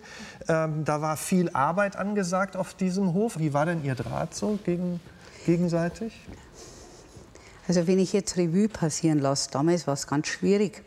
Aber ich glaube, den Anforderungen meiner Schwiegermutter, egal wer, wäre keine Frau gerecht geworden. Natürlich war die Konstellation äußerst schwierig. Ich habe ein Kind gehabt, einen Stefan, mein Sohn, mein Ältesten, aus der ersten Ehe. Das ist natürlich ganz schlimm, in eine Landwirtschaft zu heiraten. Geschieden und ein Kind und kein Vermögen. Und das in Bayern.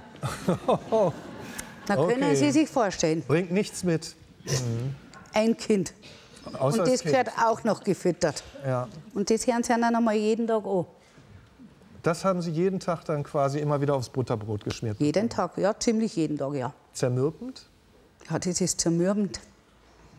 Aber wir wollen ja auch über Ihre Tochter reden und über Ihren Einsatz für Ihre Tochter. Sie hatten drei Kinder, Habe ich noch? haben Sie noch. Ähm, die jüngste immer noch, zum Glück, muss man dazu sagen, Katharina. Wann haben Sie gemerkt, dass ähm, mit ihr irgendwas gesundheitlich nicht stimmt, dass da was nicht in Ordnung ist? Das war das letzte Jahr im Kindergarten. Eigentlich habe ich es vorher schon leicht, aber Katharina ist ein sehr ruhiges Kind gewesen, immer schon, auch heute noch, sehr introvertiert. Und die war immer sehr ruhig zurückgezogen. Aber irgendwann habe ich mir Gedanken gemacht, jedes Kind, wo ich durch Schwimmer gehe, jedes Kind will durch Radl fahren, jedes Kind will Roller fahren, jedes Kind will Schlitten fahren. Und das wollte sie alles nicht. Und irgendwann habe ich also das Größenverhältnis hergestellt zwischen Michael und Katharina. Die sind ja ein bisschen ein Jahr, also ein Jahr auseinander. Wir sehen hier übrigens auch mal Bilder der Kommunion. Sie Genau. ist die vierte von links. Da sieht man schon, es sind nicht Zentimeter, die sie Nein. von anderen unterscheidet, sondern das ist richtig, richtig deutlicher Unterschied. Und ja. genau zu dem Zeitpunkt, wie ich das so wahrgenommen habe, ist es gekommen, dass sie erbricht, dass sie schlapp ist, dass sie kaputt ist. Ja, dann geht es zum Kinderarzt. Na ja, Frau Nachtmann, Sie müssen Ihrer Tochter ein bisschen mehr an die Luft aus da. Sag ich, Sie, wir haben Landwirtschaft, die hat genügend Luft. Ja, mit zwei Brüdern, das ist nicht einfach. Gut, Also solche Diagnosen kamen da. das waren die ersten. Sie hat ja auch an Sehkraft verloren. Was gab es da dann für eine Diagnose? nein, das war, Sehkraft hat sie nicht verloren. Ja, oder Die, die, ich bin in, bei der Terrassentürei und die Katharina sitzt da und irgendwann merke ich, sie hat Pumuckl gehört, gell, Pumuckl. Merke ich, dass sie mich so spät bemerkt. Ich war schon fast vor ihr. Ah, Ma. Und dann bin ich mit ihr zum Augenarzt. Und dann habe ich halt der Augenärztin erzählt, also mir fällt das auf und die Katharina, egal was sie macht, sie der Stefan zum Beispiel. Ja, Grüezi, fünfmal rum, stehst schon wieder im Weg. Sie hat ihn einfach nicht gesehen. Und dann sage ich das zu der Frauenärztin, erkläre ihr das ganz genau, wie das so ist. Dann sagt Frau Nachtmann, Katharina hat irgendeine Mitschülerin, da war es dann mittlerweile schon in der Schule, eingeschult worden, eine Brille. Dann sagt Katharina, fatalerweise. Ja, der Regina. Sehen Sie, Frau Nachtmann, das ist das. Kinder neigen dazu, wenn andere entweder eine Zahnspange, also ich hätte nie eine wollen, oder eine Brille haben, auch eine Brille haben wollen. Jetzt gehen Sie mal, holen Ihrer Tochter eine Brille. Wichtig ist in ihrer Farbe. Mit Fensterglas und Sie werden sehen, mit Fensterglas. mit Fensterglas. Und ich, ja, mach das noch. Klappt mir ja am Anfang. Kann ja alles sein. Dann sind wir gleich zum Optiker gegangen. Eine mintfarbene Brille. Wichtig ist, die Brille hat ihr gefallen. Das gleiche Problem. Mama hat gesagt, ich sehe aber jetzt auch nichts. Ja, sag ich, das ist mir auch klar. Also das heißt, Sie kriegen mit, sie, sie ist kleiner, sie hat Kopfschmerzen, sie nimmt Dinge spät wahr, Sie merken, da ist irgendwas. Hatten Sie denn irgendwann das Gefühl, die Ärzte nehmen Sie gar nicht mehr ernst mit dem, was Sie da beschreiben? Ärzte sind auch nur Menschen. Ja. Und ich sage es immer wieder. Es gibt gute Schreiner, gibt gute Maurer, gibt gute Maler, gibt gute Ärzte, gibt schlechte Ärzte, gibt miserable Ärzte. So leid es mir tut. Ich habe die miserabelsten erwischt. Ja, ist einfach so. Und wissen Sie, es ist dann so, da kommt die Diagnose irgendwann, psychisch labil, äh, Lebensmittelunverträglichkeit, laktosefrei, äh, nur noch, nur noch keine Nudeln, kein Reis, nichts mehr, keine, Karto keine Kartoffeln, nichts mehr, Lebensmittelunverträglichkeit. Da denke ich mir, gut, fünfmal, was soll ich dir da zum Essen geben? Ja, dann haben wir das probiert. Das Ende vom Lied war, hat auch nichts geholfen. Astronautenkost habe ich dann besorgt. Also Bei ihr uns- ging es immer weiter Ja. schlecht auch? Ging es ihr denn immer schlechter auch? Es ging ihr immer schlechter. Inwiefern? Sie hat Kopfschmerzen gehabt. Zum Beispiel haben wir ein zweites Bett ins Kinderzimmer gestellt. Weil sie hat in der Nacht erbrochen und dann muss man sie ins andere Bett legen. Dann, das ist natürlich jetzt, mein Mann ist verstorben und man will ihm ja nichts irgendwie Schlechtes nachsagen. Aber die Wahrheit verändert sich nicht. Auf alle Fälle, irgendwann hat er gesagt, ja gut, Sie Fünfmal, du wärst doch nicht schlauer sei wie die ganzen Ärzte. Du bist wie eine Glocke. Dann sage ich, ja, siehst du das nicht? Na, er sieht nichts. Dann hat meine Schwiegermutter angeboten, Akupunktur. Ja, vielleicht hilft das. Dann habe ich zur Akupunktur gefahren. Dann hat es zehn Sitzungen gemacht und hat die Oma gesagt, also meine Schwiegermutter, und Katharina, geht's dir jetzt besser? Dann hat Katharina echt ja gesagt. Dann habe ich so abends ins Bett, sage ich, Katharina, schau mich an. Geht es dir besser? Na, Ma. Dann sage ich, und warum sagst du zur Oma, dir geht's besser? Weil ich nicht mehr da hin will, weil die Nadeln so weh tun und weil die Oma gesagt hat, die Mama, Mama verpulvert das ganze Geld für diese scheiß Do Doktor, Heilpraktiker und überall, wo es hinläuft mit dir. So. Dann bin ich zu meiner Schwiegermutter, das hat sie natürlich nicht so gesagt. Und wissen Sie, es ist so, die Schulmedizin, in die Schubladendiagnose, ganz einfach. Passt man in das Raster, fällt durch, passt. Passt man nicht in das Raster, dann wird man da hingeschickt. Es hieß ja dann irgendwann auch, wahrscheinlich simuliert sie einfach. Haben Sie, denn ihre, haben sie das auch mal irgendwann gedacht? Haben Sie irgendwann mal gedacht, vielleicht ist da was dran? Na, Sie haben immer an Ihre Tochter ja, geglaubt. ein Kind lügt nicht. Ich habe ja gewusst, ein Kind lügt nicht. Warum soll die lügen? Sie haben auch nicht aufgegeben, Sie haben auf eigene Faust recherchiert, Sie haben sich Fachbücher besorgt, Sie haben sich in die Materie hineingearbeitet und das über Jahre. Ich glaube erstmal Respekt für diesen Aufwand, den Sie da betrieben haben. Ähm, und irgendwann, sieben Jahre später, haben Sie dann eine zutreffende Diagnose bekommen. Wie kam es dazu? Beschreiben Sie das mal. Soll ich Ihnen das jetzt beschreiben? Ja, ja, das wäre ganz gut. Wir sitzen in der Küche. Meine Söhne, Katharina, die ganze Nacht nicht geschlafen. Der Michael und der Stefan spielen Fußball draußen im Hof. Die, die Terrassentür ist auf. Bumm, der Boy kommt rein. Stefan, Michael, gibt's eine Ruhe? Katharina schlaft oben, ganze Nacht sind wir wach. Noch einmal, ich mache euch den Boy kaputt. Patschbumm, dauert nicht lang, der Boy ist wieder in der Küche. Scheppert, dann kommt der Michael, das war, das, das war der schlimmste Satz. Ich schimpfen, das ist der mittlere. Michael, Katrina schlaft um, die ist die ganze Nacht wach.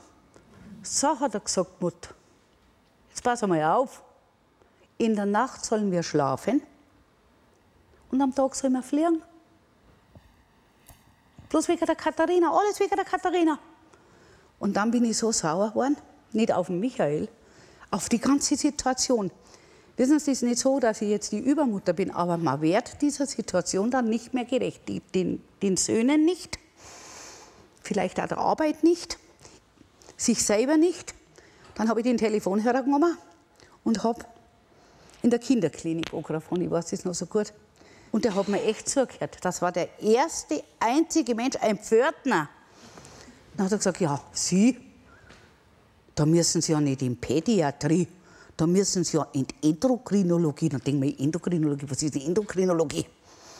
Ja, dann sagt er, das ist jemand für Hormone. Schrei einer durch. Und das, hat, das war im März. Und dann hat es dauert bis Mai. Dann haben wir dann einen Termin gekriegt. Ja, das war auch bitter. Auf alle Fälle, so sind wir dann zu dieser Endokrinologin gekommen. Und wissen Sie, was das Traurigste war? Für mich war es das Traurigste. Dann war die, die Tür von der Pädiatrie und da war die Tür von der Endokrinologie. Also genau neben dem Ort, wo Sie immer waren. Immer in dem gleichen Wartezimmer. Ja. ja, dann haben sie uns einen Fragezeichentermin, es hätte Stunden dauern können. Haben sie gesagt, kann Stunden dauern. Ich habe einen Fragezeichentermin. Hm, Das war egal. Hat nur eineinhalb Stunden dauert. Sind wir dran gekommen und das war dann eigentlich gigantisch. Die, Ärztin hat zu Katrina gesagt, sie soll herkommen, hat sie Füße auseinander, sagt Katrina, stell dich hierher. Wo hast du Kopfweh? Dann sagt Katrina, da.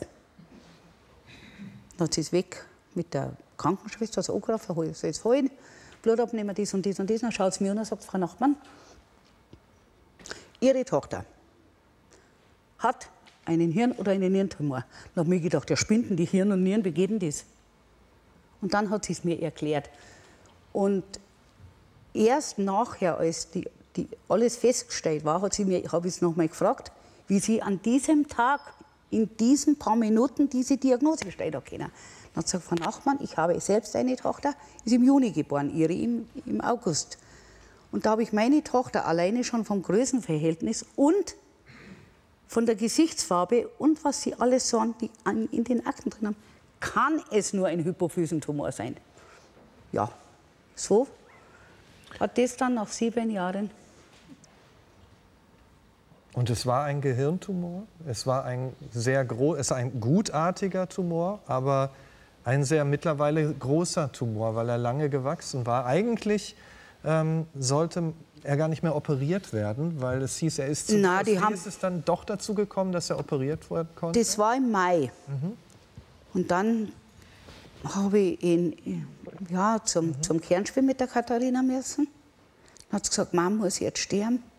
Na, habe ich gesagt, du stirbst nicht. Und dann haben sie keinen Operateur gehabt. Das weiß ich noch so gut, dann haben sie mir erzählt. Eine Klinik, die probiert Was? Probieren, habe ich gesagt, probieren? Seid ihr wahnsinnig?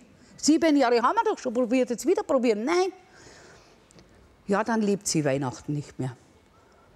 Und dann über eine Bekannte, ich bin dann heimgefahren, Katharina ist in der Klinik, Bekanntin, also die steht am Hof und sagt, und Geli, was, was ist jetzt mit der Katharina? Dann sage ich zu ihr, du stell dir mal vor, die sagen echt, die lebt Weihnachten nicht mehr und sie finden keinen, der diesen Tumor da raus weil er zu groß ist und so viel schon kaputt gemacht hat. Dann nimmt die ihr Handy, vergisst es nie mehr. Dann sage ich, was machst du denn? Ich rufe jetzt meine Tante Bärbel in Freiburg an. Die ist Professorin gewesen für Herr schwer Hirntraumatisierte, die kennt Gott und die Welt. Und die nimmt ihr Handy und ruft da und sagt, Tante Bärbel, hier ist Katrin, du, Geli, wie heißt der Scheißtum? Wie heißt das Scheißteil im Kopf von der Katharina? Und sag ich, Craniopharyngium. Tante Bärbel, Craniopharyngium. Ha, da kenne ich einen Spezialisten in Boston. Und so ist es dann gekommen. Da bin ich in die Klinik gefahren und habe diesen, dieser Ärztin den Spezialisten gesagt. Und der hat sie operiert. Dann hat er gesagt, die Katharina war die Herausforderung meines Lebens. Und Wie sehr haben Sie gebangt, als Sie da bei Ihrem Tra- Krankenbett gesessen haben? Wissen Sie, was der schlimmste Moment war? Der schlimmste Moment war die Einverständniserklärung unterschreiben, was passieren kann. 98 Prozent Exitus, also tot, und 99 Prozent blind. Ja, lieber blind bevor tot. Ist so. Da gebe ich ganz ehrlich zu, lieber blind wie tot. Und dann überlegst, lebe jetzt vorbei noch bis Dezember mit ihr oder unterschreibe und ist womöglich gleich Schluss. Und das weiß ich noch so gut. Ich bin dann im Park gegangen und habe mich hingestellt und habe so hochgeschaut und ich bin ein sehr, ich sage jetzt mal nicht esoterischer Mensch, aber sehr spiritueller. Jetzt hilft nur Hilfe von oben. Jetzt haben wir es so weit geschafft und es kann, es kann, es kann nicht umsonst gewesen sein. Und dann habe ich unterschrieben. Mein Mann ja auch. Und wie ich sie dann auf der Liege zum OP hingefahren habe, ich bin ja bis zum OP hingefahren, dann schaut sie mich an und dann sagt der Pfleger, der Jürgen, Frau Nachmann, Sie müssen jetzt gehen, hat sie gesagt, ich muss der Mom, ich muss der Mom noch was sagen. Dann habe ich gesagt, dann hat er gesagt, ja, Katharina, sag es deiner Mutter. Mom, hat sie gesagt, Mom, du hast alles fotografiert und du musst weiter fotografieren. Und wenn ich, wenn ich nicht überlebe, das war für mich das Schlimmste, das Schlimmste, dann musst du zu den ganzen Lehrern und Doktor gehen musst ihnen sagen, dass ich keine Lügnerin und keine Simulantin nicht war. Das war der schlimmste Moment. Und dann haben sie es reingeschoben und dann sind die Türen zugegangen und dann habe ich mir gedacht, hast du jetzt richtig gemacht. Ja, das ist heute noch, ja, ich sag sowas, ist wie Salzsäure, das frisst sich in einen. Aber jetzt im Nachhinein, ich tat das Gleiche immer wieder. Und man muss sagen, Sie haben ja mit dieser Beharrlichkeit das Leben gerettet. Das wollen wir nur mal festhalten. Nachdem, Nachdem dann klar war, dass Sie ihr das Leben gerettet haben, nachdem klar war, dass Sie jahrelang zu Recht immer wieder neu gefragt haben, immer wieder neue Ärzte aufgesucht haben, nachdem klar war, dass da so ein großer Tumor war, haben denn dann sich die Schwiegermutter und ihr, ihr Mann und so weiter entschuldigt? Haben die gesagt, Mensch, sorry, dass wir die ganze Zeit gesagt haben, das ist ein Irrweg, was machst du denn da? Bist du klüger als die Ärzte? Haben die sich entschuldigt? Jetzt sind da. Ja, Bis dato nein. bis dato nein. Bis jetzt nein. Wenn es, es gibt Frauen, die über den Beruf hinaus auch in ihrem Einsatz für die Familie Großes leisten, dass Sie da eine starke Mutter waren, ist ja wohl klar. Warum bekommen die oft nicht die Anerkennung für diesen Einsatz? Dann müsste man ja wahrscheinlich zugeben, dass man vorher Mist gebaut hat. Ja, und äh, müsste das ganze Weltbild umbauen, das man vorher hatte. Ja. Äh, aber es ist, glaube ich, auch wurscht, ob sie das jetzt kriegen. Hauptsache, ihre Tochter ist davon gekommen und sie haben es geschafft. Die müssen alle selber damit ja. leben. Nicht ich. Ja, genau. Katharina ist inzwischen auch verheiratet und hat ein Kind. Sie lebt mit ihrer Familie auf ihrem Hof. Wie würden Sie Bitte sagst das nicht auf meinem Hof, meine Schwiegermutter. Auf diese dem Sendung Hof. sieht, auf den Hof meines verstorbenen Mannes. Also wir stellen noch mal offiziell klar, auf dem Hof des verstorbenen Mannes. Wie würden Sie denn Ihr Verhältnis heute beschreiben? Zu wen? Zu Ihrer Tochter? Super. Super. Würden Sie sagen, Sie sind die erste Ansprechpartnerin noch von ihr? Das würde ich jetzt nicht behaupten. Wissen Sie, ich bin von meinen drei Kindern die Mutter. Zwei sind mittlerweile verheiratet und bei zwei, die verheiratet sind, der Stefan der Älteste nicht, genau an dem Tag der Hochzeit, bei beiden habe ich das gemacht, ich, bin ich hingegangen. Katharina, ihr Mann, die Katharina hat das erst geheiratet, der Karl steht da Katrina steht da in der Küche und dann sage ich, ich bin immer, immer, immer für dich da. Ich werde auch alles immer für dich tun, aber heute trete ich an die zweite Stelle.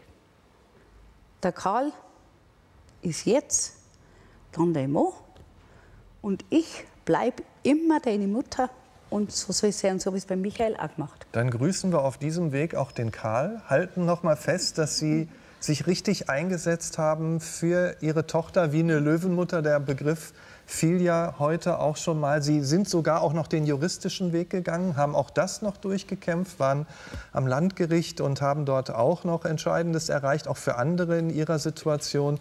Also von uns allen erstmal Respekt noch mal für das, was Sie da bewegt haben für Ihre Tochter und darüber hinaus. Herr Simon, gibt es sowas wie eine perfekte Mutter? Glaube ich nicht. Perfektion und Leben ist nicht miteinander vereinbar. Ne? Perfekt ist ja nicht umsonst der Begriff für was Vergangenes. Ja, äh, also perfekte Mutter gibt es nicht. Äh, die ideale Mutter ist eine Märchenfigur, sozusagen als Gegenbild zur bösen Stiefmutter. Oder so. Wenn, wenn Sie das so sagen, das steckt ja auch in unserem Titel, Ja. so ein bisschen starke Mütter verehrt und verteufelt. Sollten wir zu einem Mutterbild kommen, das vielleicht weniger idealisiert auf der anderen Seite, aber auch weniger verteufelt? Ja, beides, weil ich glaube, die Beziehung zwischen Müttern und oder Eltern im Allgemeinen, ja, Sie merken, ich habe Schwierigkeiten damit, das nur auf die Mütter Wir konzentrieren uns heute Ja. auf die Mütter. Wir denken Äh, die Schwierigkeit ist, das ist ja ambivalent. Einerseits sind Kinder abhängig von den, kind, von den Eltern und äh, wollen aber selbstständig sein. Und, äh, und die, die, die Eltern sind auch abhängig von den Kindern. Es fällt ja immer auf die Eltern zurück. Also insofern versuchen sie dann häufig zu kontrollieren, wollen das Beste für ihre Kinder. Kinder sehen es anders. Also das ist eigentlich eine Geschichte dauernder Reibung und Konflikte, wo immer mal Abstand und Nähe wieder miteinander oszillieren. Und wenn man sich dem aussetzt, das ist eigentlich das, was diese Beziehung ausmacht. Das Entscheidende, glaube ich, ist, dass äh, beide Seiten äh, sicher sein müssen, dass diese Beziehung sicher ist. Ja, und dass man sich darauf verlassen kann. Das ist eigentlich die perfekte Eltern- oder Mutter-Kind-Beziehung. Sich verlassen können, darum geht es. Das ist das Entscheidende. genauso, ja. Ja. Starke Mütter, verehrt und verteufelt. Wir sagen vielen Dank an unsere Gäste und beziehen Max natürlich mit ein. Also danke. Wir sehen uns wieder in einer Woche. Kurz vor der royalen Hochzeit dann mit dem Thema Traumwelt, Adel, Faszination und Fassade. Das wird unser Thema in einer Woche. Bis zum nächsten Freitag in Ihrem Nachtcafé. Dankeschön.